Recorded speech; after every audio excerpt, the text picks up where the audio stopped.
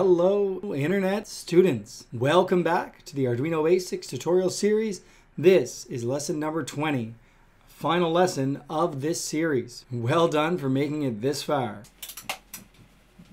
In this lesson, we're going to do a collision detector using an ultrasonic sensor. We're also going to add in a buzzer and an LCD display so we can track our distance away from an object like a wall and also have a buzzer as an audible alarm if we get too close to that object.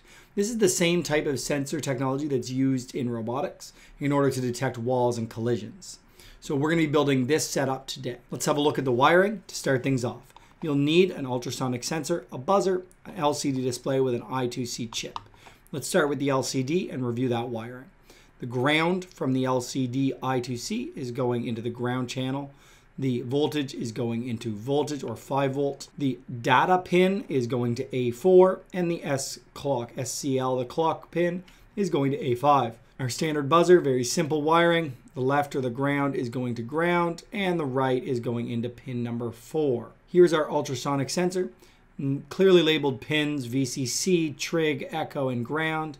VCC going direct to voltage, ground going direct to ground.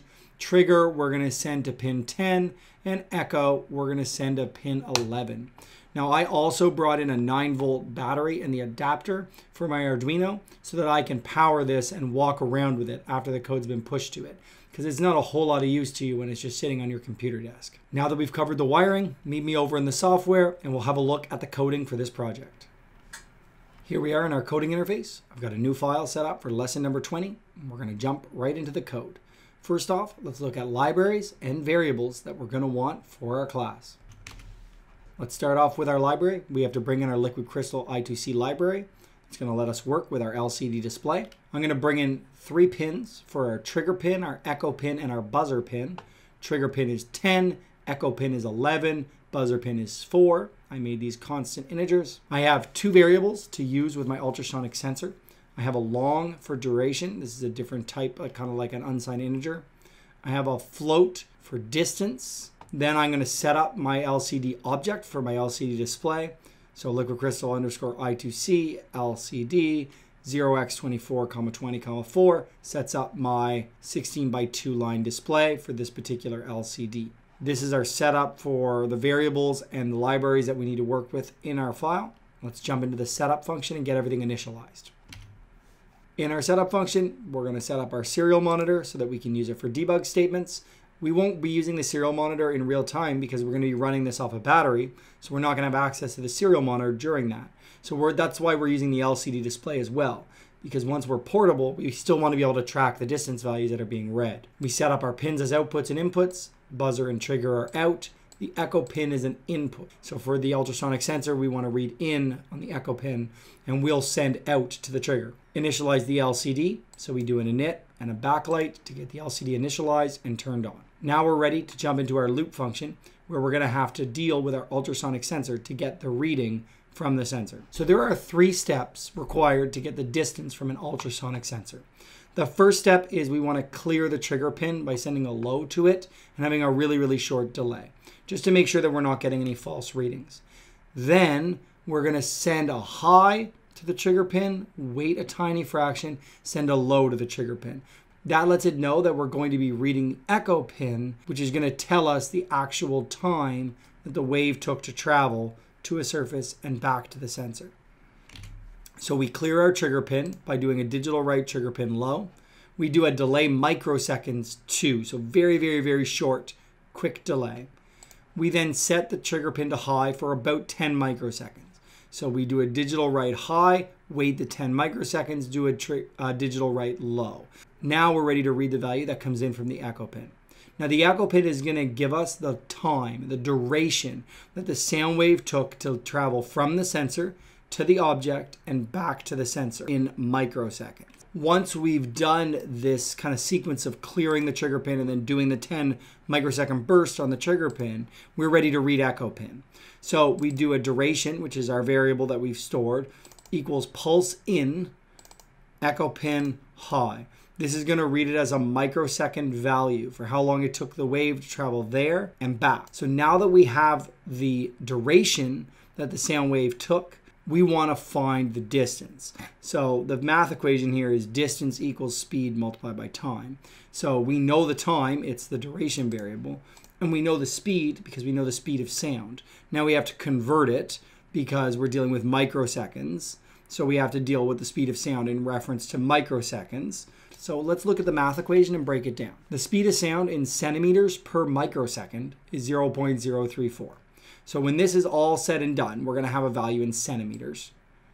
And then I'm dividing it by 200. And the reason 200, I'm dividing it by 100 to convert it to meters and dividing it by 2 to get rid of the fact that the sound wave has to travel away and then back. So I need to cut the distance in half, essentially. So that's why I'm dividing by 200. So when this is done, I'm going to have a value for distance that's in meters. Okay, because I'm taking microseconds here multiplied by centimeters over microseconds. So the microseconds cancel, leaving me with centimeters. Then I divide by 100, which gives me meters, and I divide by 2 to cut the distance in half, and I have my answer in meters. Now that we have the distance calculated, we're going to print it to the debug, so print it to the serial, and we're also going to display it on our LCD display, and then we'll bring our buzzer in for that sound. We'll start with a debug statement, serial.println. Now, I brought in a different way of formatting this here just to show you that when we're concatenating floats and longs into single strings, instead of doing a bunch of print and print line statements, we can bring it all as a string object by using string with a capital S, brackets, and then put the thing that we want to be defined as a string object instead of a string literal. It's a C thing in terms of the programming language. This just lets it all be treated like objects, similar to what you'd see in a Python or a Java string concatenation. So string distance plus the variable distance string distance plus the variable distance plus the string m. We'll print it out as meters.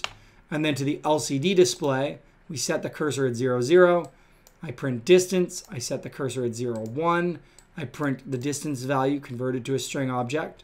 I set the cursor at 6, 1, and then I print m for meters. The reason I brought it over to 6, 1 is because sometimes, depending on how far away, the sensor I have works to about 23 meters.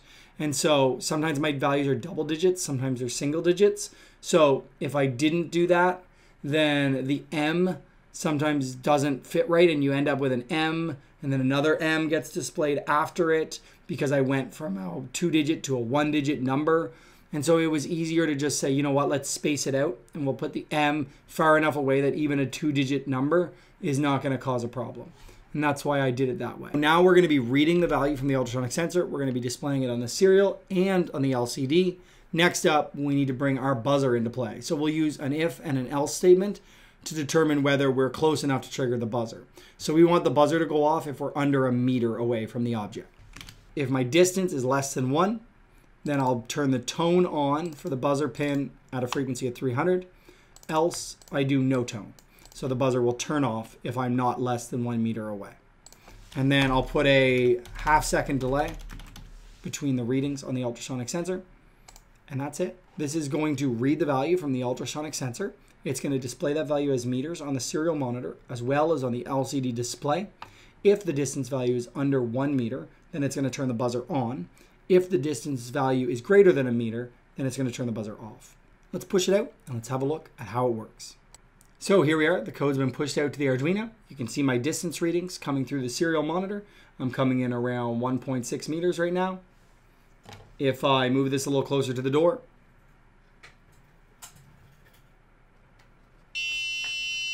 and you can see my buzzer starts going off when I get under a meter. If I come away, it's working just fine. If I stick my hand in front of it, you can hear the buzzer go off and you can see the meter readings change. And you can see the LCD display is showing the value in meters in terms of the distance away from the object. That's it for the base lesson. Great job, and we'll see you back in the extension in just a second.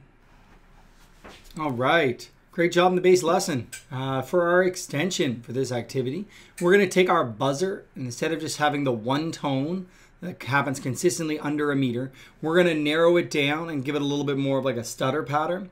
So we're going to have the buzzer start to beep between 1 meter and 0.5 meters from the object, kind of a slower frequency. So beep, beep, beep. And then if we get under 0.5 meters, it increases in frequency. So let me show you how that would work. So if I get my object, so if I have my object a little over a meter away,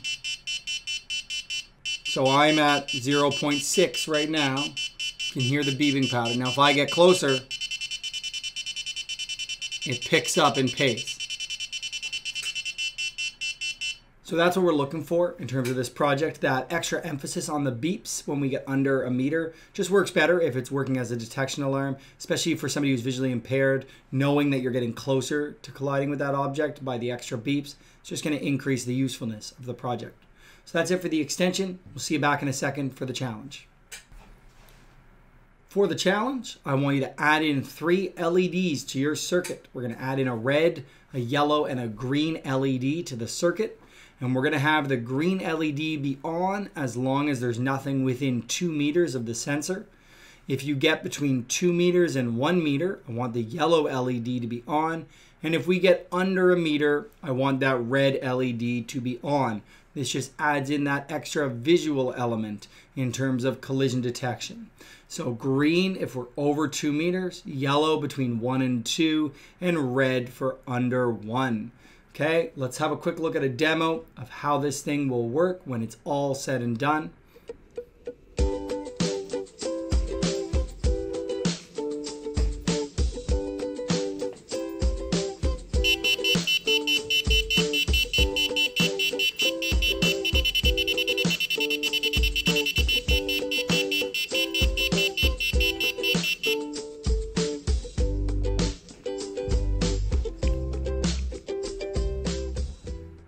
So there you have it.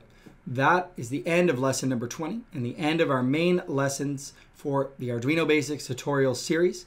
We do plan on doing some larger project extension videos, so stay tuned for those.